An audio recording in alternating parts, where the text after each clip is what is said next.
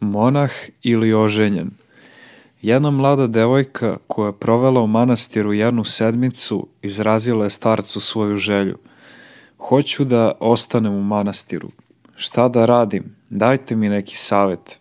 Ja ne mogu da dokučim šta je volja Božja. Starac joj je malo ljut, reče. Kao prvo, zašto su ti dopustili da ostaneš u manastiru više od tri dana? Tri dana je dovoljno da vidiš poredak stvari. Kako ja da te posavetujem? Ako pred sobom imaš vino i vodu, šta bi popila? Ne znam, odgovori devojka. Ako ne znaš, kako ja da ti kažem šta je volja Božja? Zar se ne sećaš reči gospodnjih? Ko hoće za mnom da ide, neka se odrekne sebe i uzme krst svoj i za mnom ide. To je iznad svega. Verujuća žena priča, bez razmišljanja dala sam gospodu obećanje da ću postati monahinja. To me mnogo mučilo. Moj duhovnik mi je rekao da sam se obavezala gospodu i da je trebalo zbiljnije o tome da razmislim. Tako sam otišla ocu Gavrilu. Dok sam čekala sa drugim posetiocima u njegovoj keliji, čula sam ga kako pita. Dešava li se nešto? Malo kasnije on ponovi pitanje. Usledila je tišina.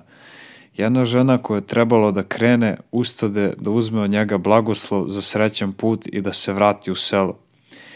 Kako, kako da ti blagoslovim put? Čovek samog sebe blagosilja ispravnom odlukom. Onako kako kreneš, takav će ti biti i put. Gospod je čoveku dao slobodnu volju. Otkuda meni pravo da kažem da ideš ovako ili onako? Odmah sam shvatila da su te reči bile meni upućene. Ubrzo smo svi izašli iz kelije jer je starac osjećao malakselost. Kasnije kada se starac već upokojio, još uvek mučena istim pitanjem, otišla sam na njegov grob. Ostala sam tamo dugo vremena, moleći ga da mi da odgovor u vezi sa mojim obećanjem. Nisam mogla svojim ušima da verujem kad sam začula mati Paraskevu, kako jednom momčiću govori tačno te iste reči. Na kraju je rekla, otac Gavrilo nikome nije kategorički rekao koji put treba da sledi. Otac Gavrilo je uvek na najbolji način savjetovao sve one koji su srcem želeli da se približe Hristu. On sam je bio slobodan i to je tražio od svih da slobodno slede put gospodnji.